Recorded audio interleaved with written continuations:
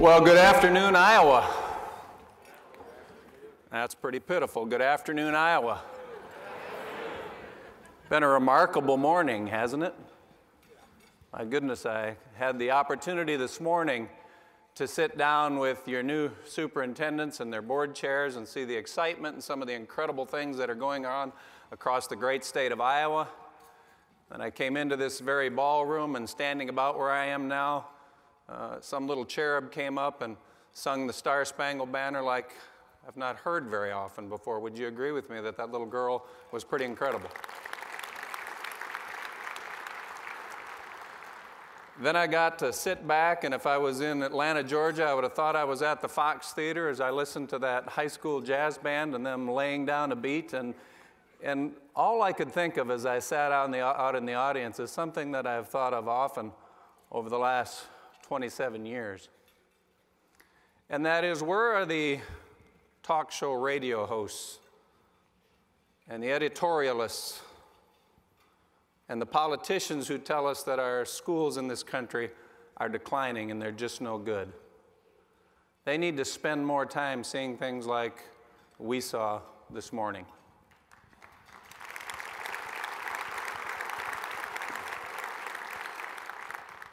You know, I've gotten an opportunity. I was here in 2012 and got to meet a number of you, and I've gotten to spend some time with you today.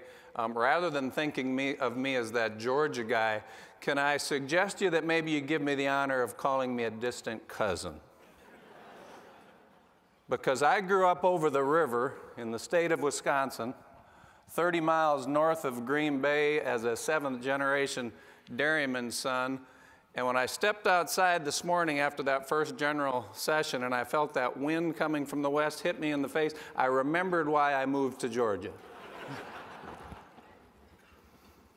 you know, people often ask me, said, Did you put a lot of thought into moving from Wisconsin to Georgia? What a change. What in the world brought you from Wisconsin to Georgia? And it's really not a very deep story. I'm the youngest of three children, growing up on a dairy farm. And the old man always told me, he said, when I get you graduated, I'm moving somewhere warm. So when I got out of high school and went off to the University of Wisconsin, my mother and my dad moved down near Athens, Georgia, where the University of Georgia is. And I remember that first winter. It was time to go home for Christmas. And I loaded up my little car in Wisconsin, and it was 20 below on the thermometer, and I think it was 50 below wind chill. And my little Ford Escort and I made our way down to Athens, Georgia. And as I drove through Athens, all of the co-eds were in t-shirts and it was 70 above. And I got to my parents' house and I picked up the phone. This is before cell phones. And I called my roommates and I said, I'm not coming back. this is crazy.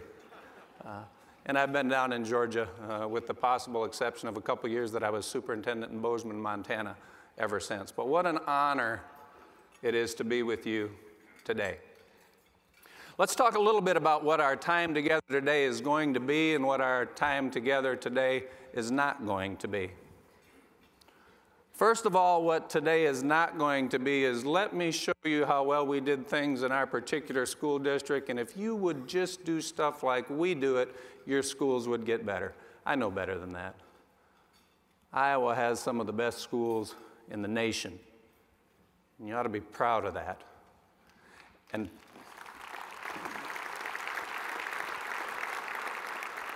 And furthermore, let me suggest you, and if there's a couple of takeaways from today, this might be one of them, that anybody in this complex world, in this complex space that we work in education, that comes to you and starts with something like, all you've got to do is fill in the blank, and your schools will get better, I would suggest that you listen to them with great skepticism. There are very few, all you have to do is fill in the blank, and your schools will get better. So today will not be a recipe where if you'll just do these three things, everything will be wonderful. You'll have Lake Wobegon and your schools will be wonderful. What I hope today is, is an opportunity for you to see me, Will Schofield, how we've worked within the Hall County School District because I tell people this all the time. I am a disciple and a husband and a dad way before I'm a school superintendent. And something within me gnaws it gnaws at me and it says, if we're not careful, ladies and gentlemen, we being our generation, those of us that are blazing the trail for the next generation, we may be known as the first generation of Americans in the history of this country that leave fewer opportunities for our children than were left for us. And I don't know about you, but I don't want to be part of that generation. So, as we talk today, one of the things that I want to encourage you to do is, is kind of look from that 30,000 foot level. By the way, you school board members, how many school board members in the audience today? I think I've got a pretty good idea. And how many would be district administrator types? Wow, we're really outnumbered. Kind of reminds me of a story, by the way. On a bright, sunny Saturday morning, a boy was sitting at the table with his mother and he said, Mama, I'm not going back to school on Monday. And she said, Son, what are you talking about? I said, I'm just not going back to school on Monday.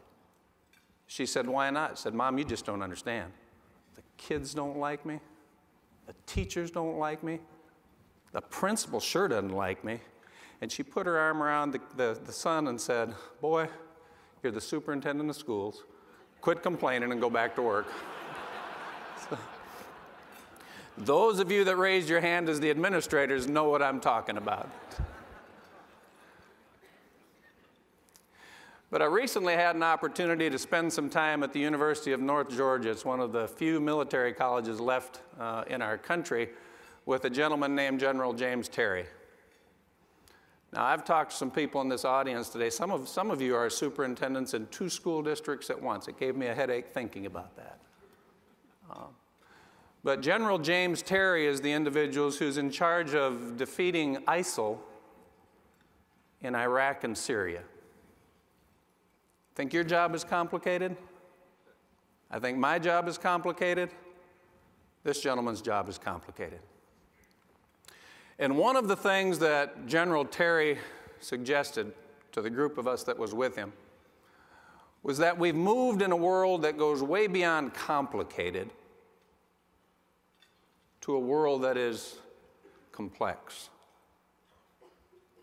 For Terry said, back when we lived in a world that was complicated, he said, you know what an individual would do? They'd gather facts. They'd make sure they had all of their stakeholders on board. They'd make a lot of phone calls. They'd see what people had done in similar situations in the past, and then they'd make a decision. And with great certainty, they could be assured that if they worked their strategic plan, good things would happen. That is what life looked like when we lived in a complicated world. Terry suggests that as we've moved into this complex world, it requires a whole different kind of leadership. And when it comes to leadership within our public schools, it's the individuals sitting in this room. It's boards of education, it's district administrators, it's community leaders, Everywhere I go, every group of people that I talk to, I lift up local school board members as probably the greatest example we have left in this country of representative democracy. It's incredible. But back to this complex world. Terry said, now we live in a world where you can gather information. You can look at the past, as we did this morning, looking at some of the lessons learned from the Battle of Gettysburg said you can get consensus and you can get everybody, or at least eight out of 10 around the table to agree on a course of action, but before you take your very first step, the variables change. And all of a sudden, we're, we're, we're fighting enemies we didn't even know existed the day before. Sounded all like work in the public schools? As an example, Terry said, I got to Afghanistan back during the war and they told us to win a war in Afghanistan. He said, in one of the first weeks that I was there, we came across a poppy field. And everybody in this audience knows what a poppy field is. You harvest poppy seeds, you distill it, and you create heroin, you create opium. He said, I'd never seen a poppy field before. But I asked my lieutenants, I said, What is this field out here? And they said, Well, General, that's a poppy field. He said, Poppy, as in opium, as in heroin that ends up in the streets of Chicago, that ends up in the streets of Des Moines, that ends up in the streets of Atlanta? He said, Exactly. He said, So I didn't think I needed to do a lot of checking on that. I said, Burn it. He said, We burned a poppy field. He said, Within 24 hours, we had bullets whizzing all around us, people shooting at us. And we sent out the world's best intel. And they came back within six hours and they said, General, it's not the Taliban that's shooting at you, it's local farmers and their families. He said, For you see, for generations, those individuals had put sandals on the feet of their children and bought their food by growing poppies and selling them to the highest bidders. He said, I got the greatest lesson that day in the fact that the world that we live in, educators, the world that we live in, mom and dads, the world that we live in, policymakers, is one that is complex. And it does not lend itself to solutions that begin with all you have to do is fill in the blank. So, our time today, by the way, this technical crew over here is incredible, but I told them, I said, people don't generally trust me with a clicker, so this, is, this is really something for me. I, use, I, don't, I usually get to hold the clicker. Uh, if there weren't 1,800 people here, I'd play with it a little bit, but I don't usually get to hold the clicker. Let me tell you a little bit about the district that, that I come from, going into my 11th year with the Hall County School District, which, by the way, is relatively unusual. Middle and large districts, superintendent's tenure in this country now averages 2.8 years. Um, make me a case for how you make meaningful, positive change in a school district when you're changing your leader every two and a half years. And I'd, and I'd like to hear that, but that's a conversation for another day. Let me describe what our district looks like. We've got 28,000 kids. About two thirds of them come to us every day from homes of poverty. Um, half of our kids are minority, and that 20% is really low. It's closer to about a quarter of our kids uh, within our schools do not have English as their primary language. They're English language learners. And 11 years ago, if you would have visited the Hall County School District, what you would have seen is a network of 33 schools. Everybody was assigned to schools based on their address, and all of the elementary schools basically taught the same thing. All of the middle schools basically taught the same thing, and all of the high schools had the same offerings. Can I suggest you now as a takeaway? A second takeaway. That this beautiful idea that we have in this country of the common school. You know, isn't it incredible as we look around the world and we make comparisons with other nations that we are one of the few that take all comers? Give us your tired, give us your poor, give us your special needs, give us your children that don't speak the English language. We take all comers. And I think that's just a beautiful thing. But as a second takeaway, let me suggest you that if it is one of our primary goals at the beginning of the day in public education to make sure every kid gets exactly the same thing, that treating unequals equally is inherently unequal. And you'll have to let that one sink in a little bit. So, one of the things that we said is with a district of 28,000 students, 33 schools, with all that was going on, we were spending a third of a billion dollars a year. And we came to the conclusion that we had an obligation to try to figure out if we wanted to try to do some things differently. You know, it was 12 years ago, and I got on an airplane, I flew into Atlanta, and I rented a car, got a speeding ticket. My wife still reminds me of that. Drove up to Gainesville, Georgia, and I applied, I interviewed for this position that I currently have. And you all, most of you have been through that, hopefully not very many times. And the school board, my board president, who's with me, Nath Morris, been serving as board, on the Board of Education for 15 years. We got all done, and we were trying to decide whether or not we wanted to go steady. And, and they got to that point where the school board got to say to me, Do you have any questions for us? And I said, Really, just one. And they said, Really, what's your question? And it was five board, members. I said, Are you folks willing to try to do some things differently? Are you willing to take a look at school, at how we use resources, at how we use time, at how we assign teachers? Are you willing to just have an open conversation and a dialogue and, and just be open to the fact that maybe we ought to be doing school radically differently? And each in their own way looked me in the eye and said, Absolutely. We are willing to try to do some things differently. You know, Mike this morning talked about leadership of the head, leadership of the heart, and sometimes there's just this leadership of the gut. I don't know about you, but as a dad, I go back to this whole idea of, of school and what it looks like in this country. And I have to ask myself the question are we moving at a pace in terms of our change and moving with the cheese a little slower than, than the rest of the segments of our world? So, anyway, 11 years later, some, some pretty big things have happened in the Hall County School District. We went to all these traditional neighborhood schools, to all of a sudden now we have 25 charter schools that we run and programs of choice and magnet schools. Parents have the opportunity to say, I've got a five year old who seems to love the arts. She's already playing the violin, and I really want her to be able to go to school and continue to pursue, pursue her interest in the arts. We'll choose an arts elementary school. We may have another parent that says, Well, I've got a sixth grader who's just fascinated by foreign languages and wants to learn different languages and is really fascinated in other cultures. Choose the World Language Academy. It's a natural choice for you. It has been a logistical challenge for some families, but I think it's pretty neat now that we have families who actually have three children uh, one at the elementary, one at the middle, one at the high school, who have their kids in all different districts because the schools in those districts and their niche meets the God given gifts and passions of their children better than the one that's in their backyard. Still have a lot of people that go to their neighborhood schools, 90%. We have a lot of choices within our own district. 83% graduation rate. Again, let's not compare with each other. I saw what yours was this morning. It's actually closer to 84. But you have to remember 11 years ago, ours was 67%. Um,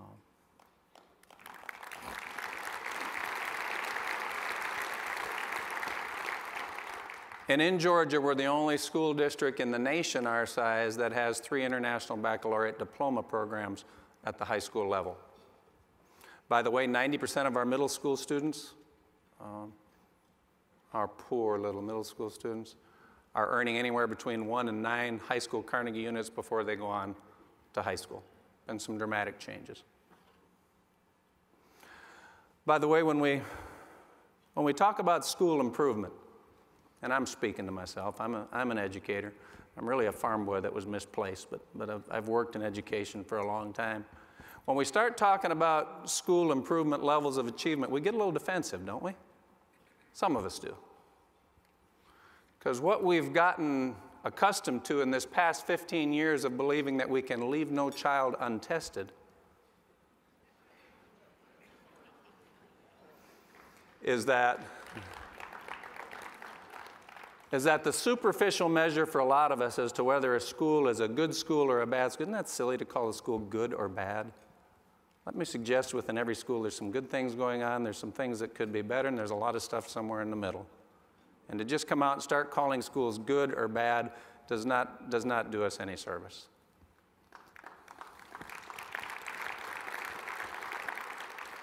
But in this, in this day and age, I was talking to my board president a little earlier, just in the last 24 hours, uh, whenever I say I have a new idea, he just shakes his head and says, Here we go again. Um, I said, it's come to me that the way that we talk about schools and school improvement is a lot about how we talk about our marriages. Getting a little personal here, but remember, I get to get on a plane and go home this afternoon. Because if I came out to this coffee bar this morning and had a half hour conversation with one of you, and all of a sudden out of the blue I said, How's your marriage? You got a pretty good marriage? Oh, wonderful. So do I. And I, and I, and I thank the good Lord for that. But most of us would be, would be, it would be okay for us to think, it's really none of your business what my marriage is like. And you know what? When you start talking about our schools and our school performance and schools that are full of all kinds of different children, and we start being so Pollyannish that what we want to do is take an average test score and start saying good school, bad school, some of us get defensive. A third of us beat our chest and say, Did you see where we were in the, in the rankings this week? And by the way, some of us that are beating our chest and saying how well our children are doing, if we broke it down and saw what kind of children are walking through those doors, we'd probably be a little quieter. And then some of us, and I'd like to think it's most of our school board members, most of our district administrators, are deep enough to know that that's a really poor comparison. So back to your marriage. If I said, your turn, how's your marriage? You know, you'd be very, you, might say, none of your business. But if I said, you know what? My marriage over the last couple years has really gotten better. 23 years with this incredible woman whose name is Joy. And for the last couple years, we've been doing some things. And I tell you, my marriage has never been better. It's just really improved.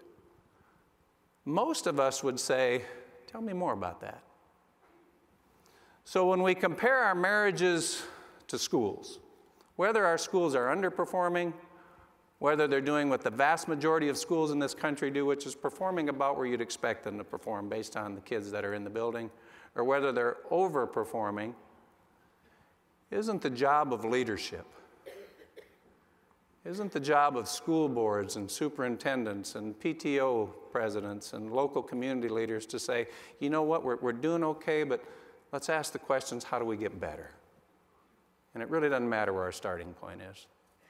So, what I want to share with you is how we looked at a community and we started out by creating what I call and what John Kotter from Harvard University calls we started out by creating an urgency for change. By the way, there's a handout on your table. That handout should serve as a takeaway, and I hope some of you will go back and maybe at a board work session have the conversation about those three guiding questions on the left. Many of you probably already have.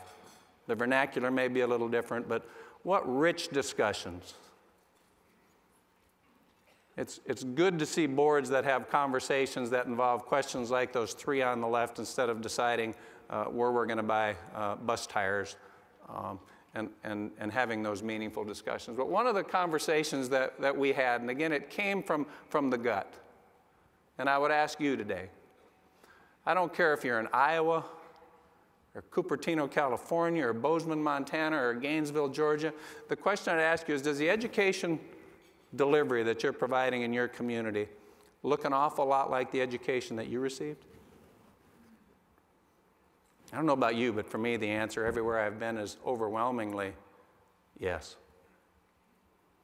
I've got an incredible and close relationship with my 83 year old father and my 79 year old mother. And when I talk to them about the education that they received in northern Wisconsin 60 and 70 years ago, and they describe what it looked like and what their teachers were like and how the time was used and what the day in the calendar looked like, the education that we're delivering in this country still looks an awful lot like the education that my parents received. My grandmother was born in 1905, taught in the rural Wisconsin schools for 40 years. And I used to love and sit and listen to my grandmother tell stories. But the stories that she tells about what happened in school and what school looked like back in the 1930s and 40s and 50s is eerily similar to the way that we have school and that school looks in the year 2015. Now, I'm getting a little personal here again, so some of you are bristling a little bit. Because every time I say that to a group, someone will come up and say, I'm just going to say it now so you don't have to. Someone will come up to me afterwards and say, What's the matter with that? School worked pretty well for me. And you know how I'd answer that? I'd say, you know what? There are certain things that schools ought to always do. Children need to be able to read, and they need to be able to read well. And if they don't do it by the age of eight, we've got some major problems ahead. Children need to be able to manipulate numbers and numeracy, and it needs to be automatic. By the end of middle school, kids ought to be able to manipulate fractions, decimals, and percents and go back and forth because we can talk all we want to about STEM and about calculus and about differential equations, but if you can't manipulate numbers, you can't do higher math. Children, whether they're in Boise, Idaho, or Des Moines, Iowa, ought to know about the United States Constitution. They ought to know what it means to be a citizen of this incredible country.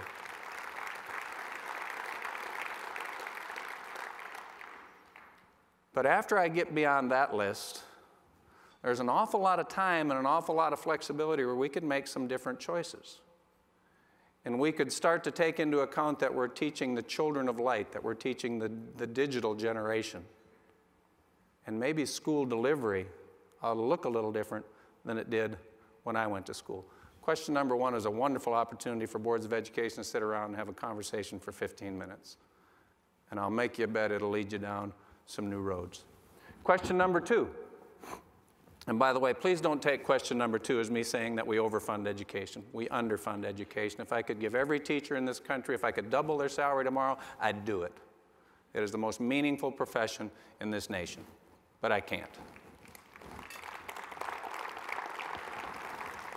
But that being said, I think it's important that we remember that we as communities, we as parents, we as the generation that goes before make an incredible investment in public education. In some parts of the country, much more than others. But on average, and I'm sure you're aware of this, but I, I just like to quantify it and look at it. Take a look at the second question up there. It's a 13 year commitment on the part of the child and on the part of the family. It is an expenditure, again, depending on where you live, in some parts of this country of $110,000, in other parts $180,000, but we spend about 150 grand educating a child K-12. It's a big chunk of money. And a public education K-12 also represents about 10,000 contact hours with educational professionals. We are making a huge investment. We can debate another day whether we should be making more in public education in this country. But the question that's attached to that is could we use some of those resources differently, more effectively? Even within a school, even within one school building, differently for some children that have a readiness to learn and, and other children. Is it possible to suggest that maybe some children in this country need 220 days of school? And maybe we could meet the needs of others in 150 with some blended learning opportunities and some opportunities outside of the school walls? Are we bold enough to even ask those questions? And the third one gets back to the gut question. Now, everybody in here is a board member, a school administrator, a parent, or a grandparent, or a community member. And I would ask you, are you satisfied? At your core, are you satisfied with the education that we're delivering for the next generation? Doesn't mean it's bad, doesn't mean we don't do some great things, but are you satisfied with the level of education that we're providing? You know, a lot of times I talk to groups and people say, Will, you sound like you're critical of teachers. Not at all. Teachers are mission minded. Some of the finest people that you're ever going to meet. They deserve and don't get our esteem. So I can be very supportive of educators. I can be very supportive of teachers and at the same time bring up some questions and have some criticisms of education at the same time. There's a difference. That bottom quote, by the way, I'm not an English teacher, I was a math teacher. Um, but I do know a little Shakespeare. I wasn't all that crazy about it, but I know a little Shakespeare. That quote that sometimes it's the dogs that don't bark that provide the most powerful clues that change is necessary, that comes from a Shakespeare adventure story by Arthur Conan Doyle. I believe it was The Adventure of Silver Blaze, where the racehorse was stolen. And of course, Sherlock decides who stole the horse and who committed the murder. And Watson says, Sherlock, I said, How did you decide that? He said, The dogs didn't even bark on the night that the horse was stolen. And he said, Exactly. He said, That was the clue that told me that it had to be somebody that lived in the house. You may live in a community that the dogs aren't barking. You got a 93% graduation rate. Kids doing pretty well on the ACT. Principals keeping the bathrooms clean. System principals being nice to the parents that drop off their kids. All is well. The dogs aren't barking. But that does not absolve us as board members and superintendents from asking the question could education be more? Could we do it even better? Because I have to believe that in most cases the answer is absolutely. So, where do we begin? Again, we talked about the fact that schools are a very complex organization. And there's almost an infinite number of areas that we can work in. One of, the next, one of the next discussions we had in Gainesville, Georgia, after we had a community and a school district and a board of education that believed that we were willing and needed to make some changes, is we said we got to choose a lever or two. We got to choose one or two things that we're going to really focus on and try to make a difference in. And, and we need to carefully choose because if we choose the right lever or two, they have the potential to be a catalyst and spill out and improve in a lot of other areas within the school building. You know, I threw a list up there for you as a Board of Ed- Education to say, what, are, what is our focus or two going to be? But you may have others. I don't know your community. I don't know your students. I don't know what the goals and the dreams that you have for the next generation are in your district. But I can tell you on that list for us, we very quickly came to the second one, and it was a level of engagement. And you might be saying, what in the world does he mean by level of engagement? Here's the opportunity you're going to have to talk to the people at your table because I'm going to I'm going to ask you a series of three questions and you're going to talk with each other to come up with a percentage. Okay? By the way, this is Googleable. I don't know if that's a word, but I'm inventing it today. Research that you can find in a number of different places when it comes to these levels of engagement. At your tables, answer this question. If we ask kindergartners in this country, in an age appropriate way. Do you like school? And do you see relevance in what you do at school and what you want to do with the rest of your life? What percentage of kindergartners do you think will answer in the affirmative yes? Talk to the people next to you. Come up with some percentages.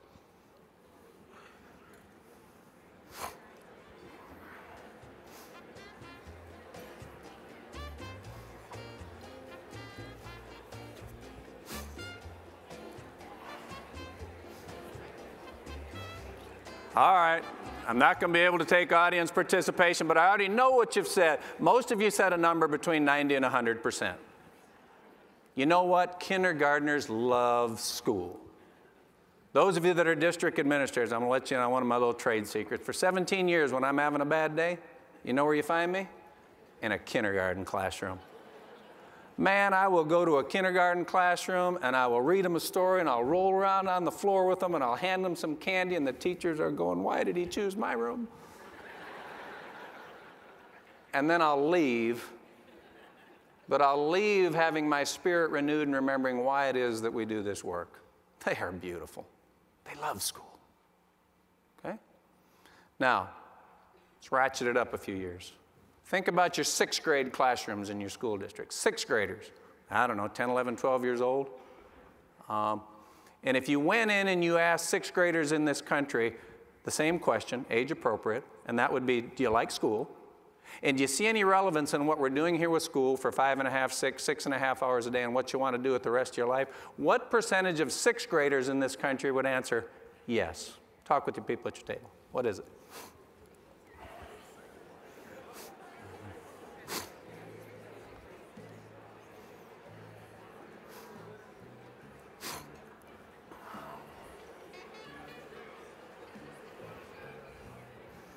All right, let's bring it back in.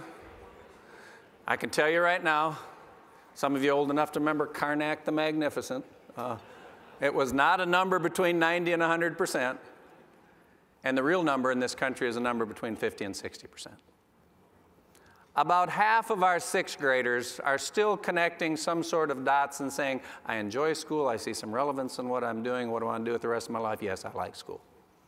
All right, you know how the story ends. Let's take it up another three years. Let's get to our ninth graders, our high school freshmen in this country. And by the way, one of the dirty little secrets we don't like to talk much about is about 15% of our kids are gone before they ever get to ninth grade. They don't make it to ninth grade.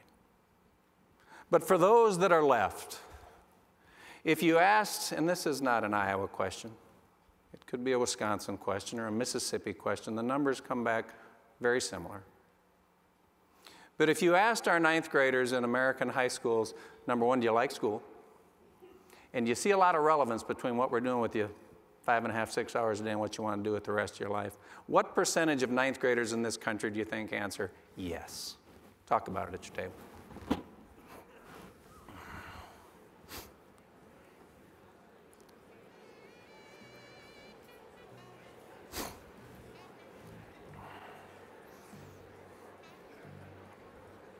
All right, once again, not going to be able to get audience participation, but don't, don't throw things at me. Again, in Shakespearean times, the groundlings would throw fruit at the performers if they didn't like what they were doing and didn't like. So please don't throw fruit. But it's, between, it's a number between 20 and 25 percent. About a quarter of our high school kids in this country are saying, I'm not that crazy about school, and I'm not seeing much relevance in what you're asking me to do. I just want to endure this experience. I want to get it over with. I want to get my diploma and move on to something I want to do. Ladies and gentlemen, as a third takeaway, may I suggest that that's unacceptable? May I suggest that our kids over the last two, three generations haven't gotten bad or apathetic or uncaring. And again, you have to realize I'm talking to myself. May I suggest that I haven't done what I need to do to create an environment and a culture within my high schools in Hall County, Georgia, that makes kids excited about coming to school and what they're going to learn. Not, not hard, hard work and learning isn't always fun, but it can be engaging. And that's the lever that we chose. It was these levels of engagement. How many of you familiar with Sir Ken Robinson? Ken Robinson seems to really get it when it comes to this idea of school engagement. And if you would, watch this 60 second video of Ken talking about the issue that's not an American issue, it's an international issue and a crisis when it comes to talking about what schools ought to look like.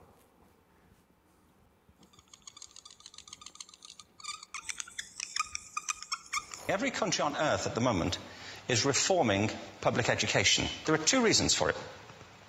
The first of them is economic. People are trying to work out how do we educate our children to take their place in the economies of the 21st century? How do we do that?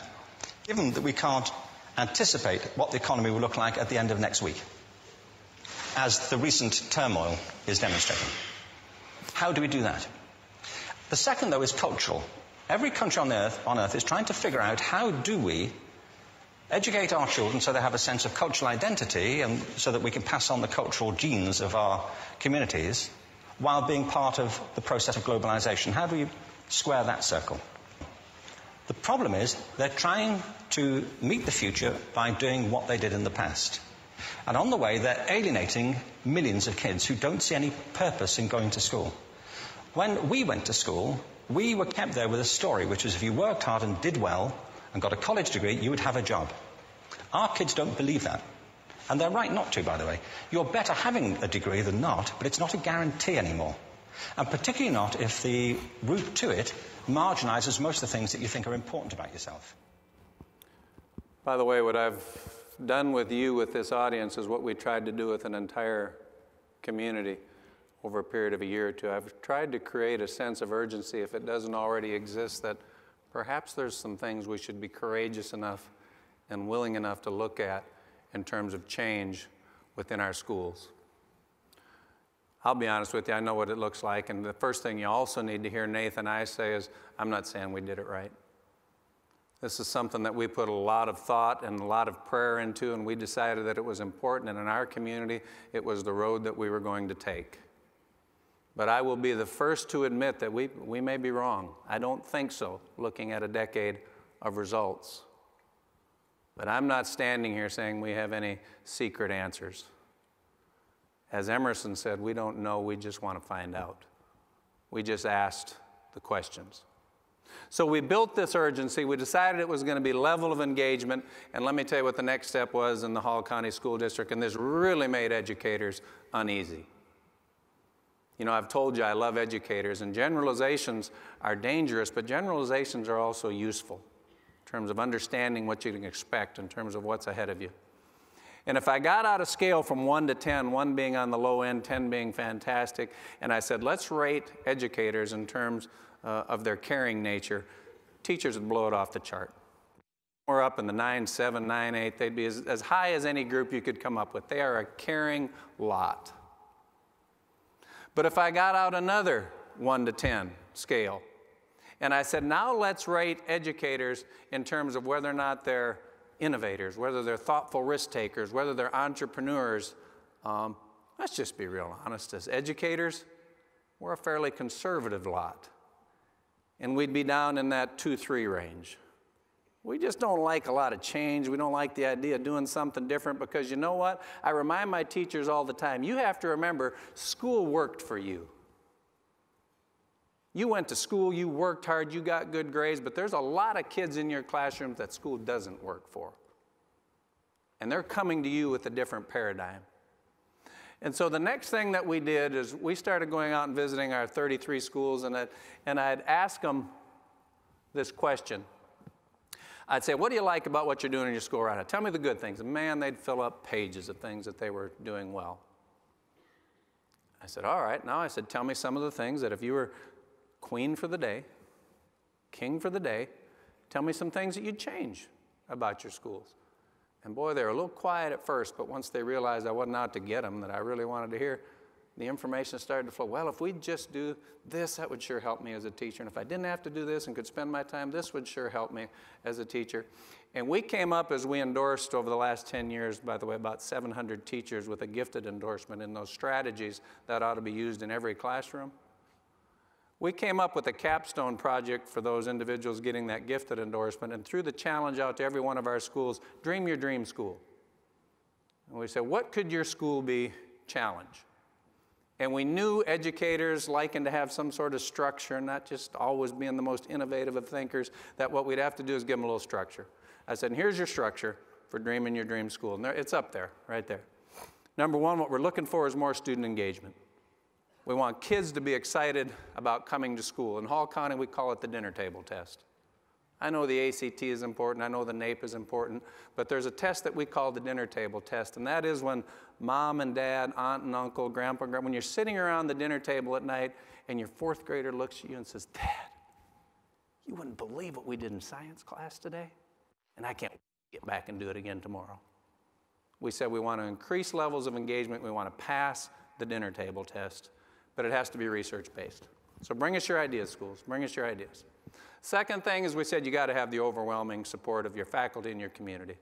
We're not going to run down a road and try to do something that parents don't understand, that teachers haven't bought into, and that the people that have to carry out the change at your school aren't a part of. You've got to have overwhelming support. The next one they didn't like, I think Iowa was similar to Georgia, and if I remember right, back in 2009, 2010, I think in the middle of the year, you guys got a 10% cut in your funding. One of the worst days I'll remember for the rest of my life is when I told 128 effective teachers, you don't have a job next year. We're downsizing, we've got to cut $20 million out of our budget in the Hall County School District. So, another thing to remember is that while we had all this innovation springing up in these programs of choice and challenge within the Hall County School District, revenues were plummeting. So, in, in this sense, it really kind of worked to my benefit because I told folks if your idea requires another million bucks, if your way of having school takes another 600, please don't even bother coming. I don't, there's, no, there's no secret sack of money in the back somewhere that I'm hiding. Uh, we've got all the money that we're going to have. What you can do is spend your money differently. And you know what?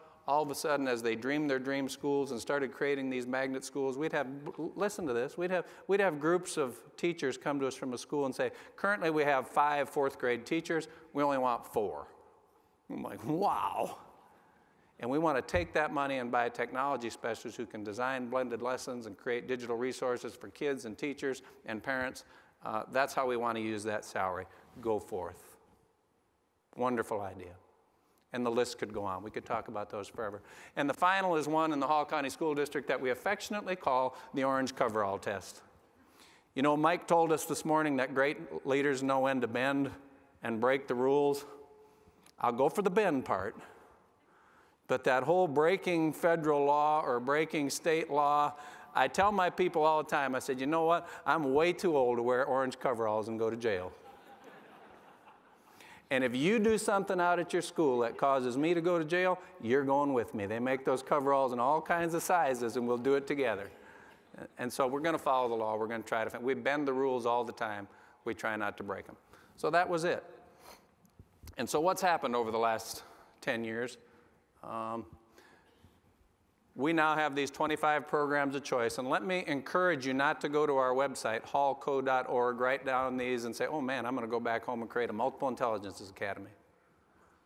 What works in one of our communities with our group of students and our group of teachers and our group of leaders and, and what the expectations are for our community may very well not work in yours. Please don't buy into somebody's snake oil that says, just do it like we do, and your schools will be better.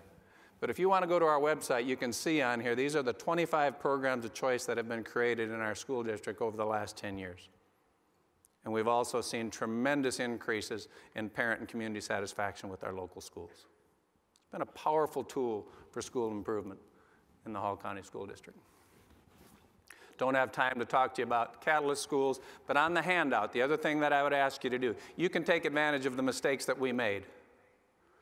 And in the deeper dive session this afternoon, we're going to talk about the characteristics because now what we have the opportunity to do is we're looking backwards at all of our programs of choice and we're asking the question the programs that have been most successful, what have been the common elements? And I'll go through them very quickly here. There's been a catalyst. We've been able to identify why we wanted to make a change in the first place. There's been radical increases in levels of student and teacher engagement. Folks actually enjoy going to school. We have leadership champions. You know, Iowa, I see you have this um, teacher leader compensation, T- TLC. It was very impressive. Um, but as I look through the characteristics, one of the things I'd suggest is another thing we look for in leaders is those evangelists. Those people that not only know what it looks like, those people that not only can come in and do a model lesson, but that will be going around and what they do will spread amongst their peers. Who are your innovators? Who are your teacher leaders and champions? Our programs that have been successful in the last 10 years have had those leadership champions put in the right place and they've been supported. Collaboration. We see parents and businesses and community that's participating in their schools, and we've already talked about resources. These schools are using their resources, the same amount of resources, and they're using them differently. Finally, I've talked to a number of you who also, you know, some in terms of classroom pedagogy, uh, we expect to see authentic intellectual work in our classrooms, whether it's a kindergarten or whether it's an AP physics class. And a number of you are already familiar with the work of Fred Newmann from the University of Wisconsin, what authentic intellectual work, what that lens looks like. And I would encourage you to explore something like that, but have a pedagogical lens and expectations for your classroom practice. Curriculum, we see an awful lot of integration in our uh, successful programs. We don't have silos of math and silos of science and silos of English. Uh, those schools and those teachers have done a wonderful job of integrating. And technology is last on my list for a reason. We have spent billions in this country putting technology into classrooms, and it is a valuable tool. But we do not apologize for the fact that we tell our principals, we tell our teachers, we tell our students it is a tool for producing, for active learning, it should not be a tool for consumption. Kids sitting around and surfing the internet and playing games and Instagramming each other are not learning uh, skills that are going to help them in the 21st century. Technology is important, technology needs to be used effectively. So, final thing. So, how's this working out for you? Let me just give you a quick snapshot of our school district over the last 10 years. Continuing to grow, picked up about 3,500 kids. After the great meltdown in 2008, we had three years where we grew none, but we're picking up again. Getting poor, about two thirds of our kids, that just went up 3%. I got the report for this year yesterday. Got an awful lot of kids don't speak the English language. Not good, bad, or indifferent. It's just the facts, man. We love them. They're wonderful kids. So, how your kids been achieving in the Hall County School District the last 10 years? Uh, we're graduating a lot more kids. Our student uh, population has grown by 15%, our number of graduates has grown by 50%, which translates in, I know, there you go again, that's only 84, that's not all that great. But it's great for us, and it represented a huge improvement, up to 84%. Number of students at the high school level taking AP and IB, 1,748 students in our school district. Number of middle school students taking high school level courses, 2,200. Number of middle school students earning, number of Carnegie units awarded, almost 5,000 in our district last year. By the way, it does two things. Students who are going to struggle graduating, it gives them a head start.